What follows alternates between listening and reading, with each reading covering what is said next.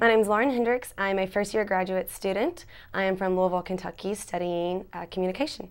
We went to Cebu, Philippines, and it's part of the International Service Learning Program at U of L. On this trip, the dental school students went, uh, justice administration, communication, as well as education students went. We come in there with games, we come in there with workbooks and uh, props and a lot of stuff just to get them excited about learning. You know, it's not a lecture. Traveling with the service learning program is something that it doesn't matter how many books I read or it doesn't matter how many courses I take.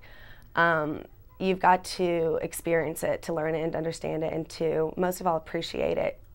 I'm so thankful that the university offers this type of program. It's such a good cause. If I didn't go to U of L, if I wasn't enrolled when I was, I don't think I would have had that experience. So I am, to say I'm thankful is an understatement.